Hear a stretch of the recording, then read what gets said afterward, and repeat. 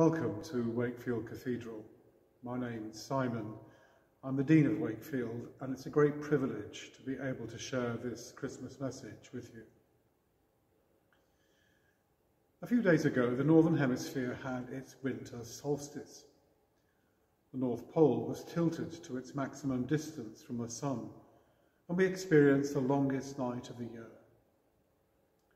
And just as it did 12 months ago, this darkest time coincided with great uncertainty about how constrained our Christmas celebrations might be as the seemingly endless effects of COVID continue to dominate our lives.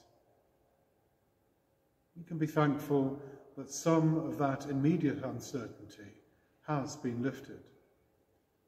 There is, nevertheless, a sense that the pandemic has not done with us yet and that more constraints are on the way.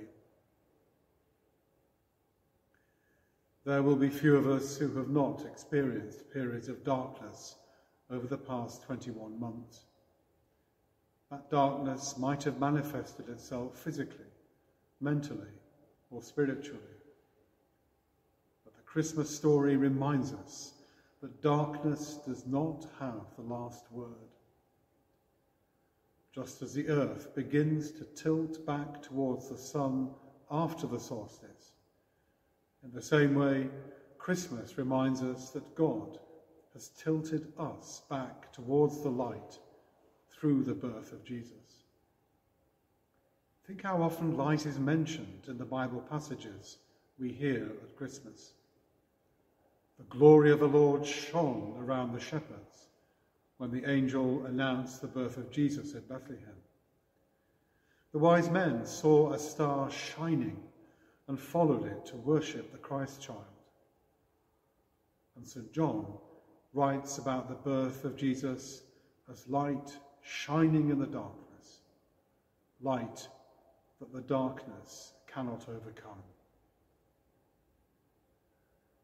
I'm standing in front of a magnificent Christmas tree that has been given to the cathedral by Wakefield Hospice. And the tree is covered in light, shining out. Each light representing the life of someone who is loved but seen no longer, yet whose light continues to shine in the lives of their families. I offer my very best wishes to you this Christmas, and my prayer that you and all whom you love will draw deeply on the hope that comes to us from God in the birth of his Son, the inextinguishable light of the world. May God bless you and all whom you love. Happy Christmas.